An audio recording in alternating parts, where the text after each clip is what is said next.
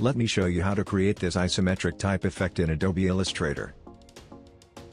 Choose the Type tool and write your word. I am using Montserrat Bold font. You can follow these settings.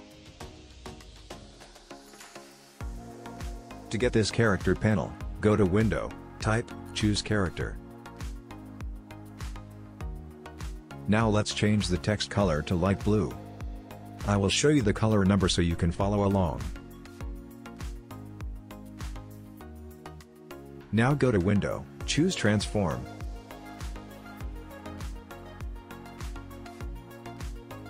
Make sure to unlink the width and height. Now right here, 86.602% and then press enter. Right in the shear box, minus 30 degrees and press enter. Right in the angle box, 30 degrees and press enter. Now go to Effect, 3D, choose Extrude and Bevel. Set these three angles to 0 degrees. Now drag this square up a bit like this. You can change the extrude depth from here.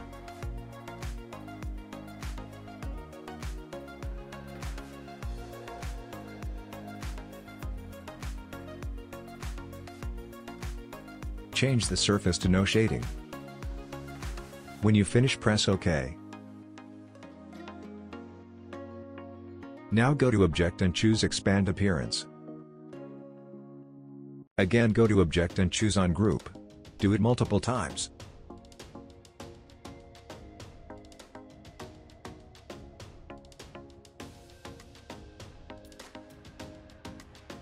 Select these letters on top while holding the Shift button. Group them by pressing Ctrl G. Hold Shift and press the up arrow key a number of times. Now select over everything underneath. Let's change its color, I will give you the color numbers later on. Now go to Window and choose Pathfinder. Press Ctrl Y to view the outline mode. Click on the first icon to unite all shapes. Press Ctrl Y again to turn off outline mode. Select the upper text, hold shift and use the down arrow key to put it back on its place. Now select the lower part of the text, go to Object, Arrange, choose Send to Back.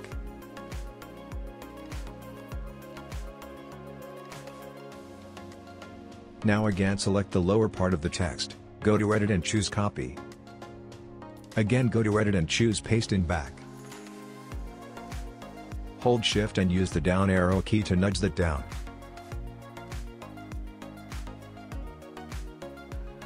Let's change its color. I will give you the color numbers later on. Keep on watching. Now again select the lower part of the text, go to Edit and choose Copy. Again go to Edit and choose Paste in Back. Hold Shift and use the down arrow key to nudge that down. Let's change its color. We will copy and paste in back two more times like we did before. Select the lower part of the text, go to Edit and choose Copy. Again go to Edit and choose Paste in Back. Hold Shift and use the down arrow key to nudge that down. Let's change its color.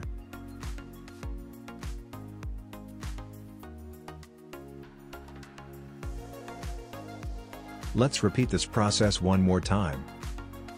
Select the lower part of the text, go to Edit and choose Copy. Again go to Edit and choose Paste in Back. Hold Shift and use the down arrow key to nudge that down. Let's change its color.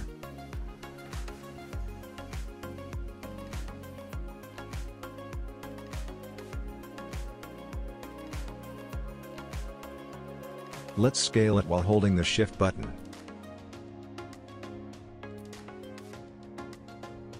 Go to Object and choose Group. Now let me show you each color's number. You can hit pause and copy each color's number.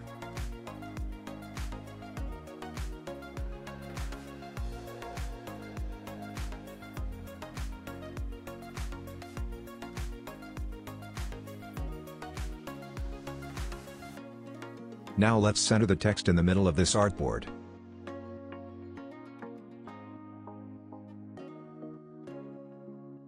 Go to Window and choose Align. Choose Align to Artboard.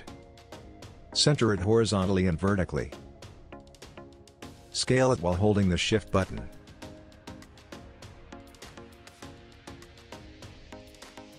Let's add a background colored rectangle.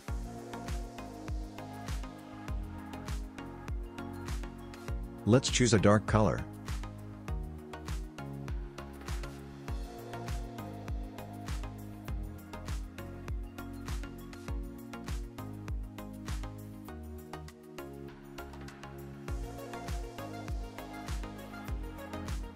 Go to Object. Arrange, choose Send to Back. That's it. Leave a comment below and I will try to answer all of your comments.